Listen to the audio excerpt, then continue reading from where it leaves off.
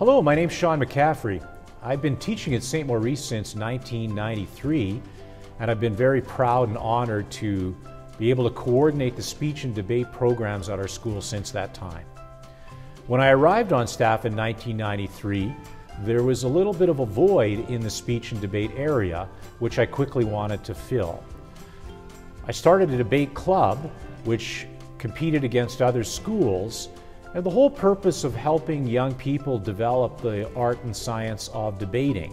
And that expanded ultimately into public speaking courses for credit, like the communications course that we offer at the grade 9 level as an option course. And this is a course completely about public speaking.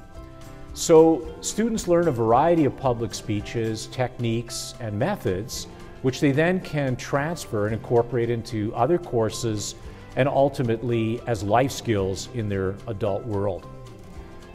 As well, one of the units in that class is specifically about debating, and those students who choose to pursue debating in a more specialized way can do that at the grade 10 level with a half credit course in debating. In addition to that, our intercollegiate competitive clubs, both at the junior high level, 7, 8, and 9, that's currently run by Mr. Allard, and the one that I oversee in senior high, grades 10 to 12. On the whole, we're very proud of speech and debate at St. Maurice School. It's a big part of who we are, it's a big part of our education process. In addition to the specific courses and clubs, uh, public speaking is found in a variety of language arts and social studies courses.